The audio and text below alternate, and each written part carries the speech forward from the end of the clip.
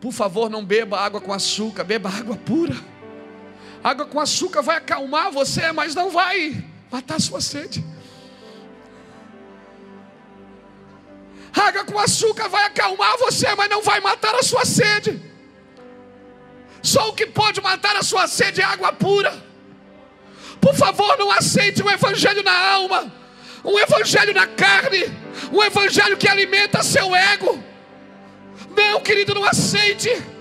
Você sabe quando está ouvindo um evangelho genuíno?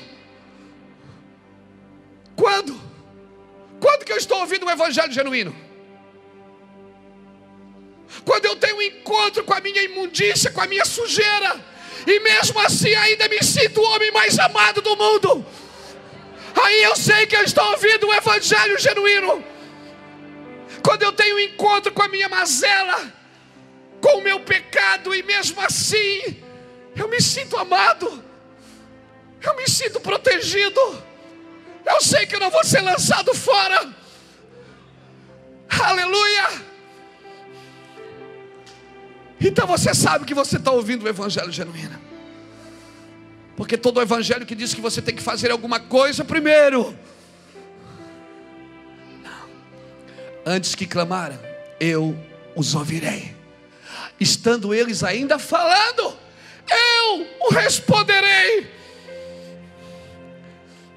É assim que aconteceu com o filho pródigo. Ele vem ensaiando no caminho. Não, vou chegar lá, vou dizer para o meu pai: Pai, pequei contra céu e a terra, não sou digno de ser chamado teu filho, me trata como um dos teus empregados, e ele já vem ensaiando no caminho. É isso que eu vou falar para meu pai. Nem que seja para trabalhar na roça, nem que seja para trabalhar no celeiro, eu vou cuidar dos animais, não tem problema. Eu só quero é voltar. E quando ele chega, o pai está na porteira esperando ele.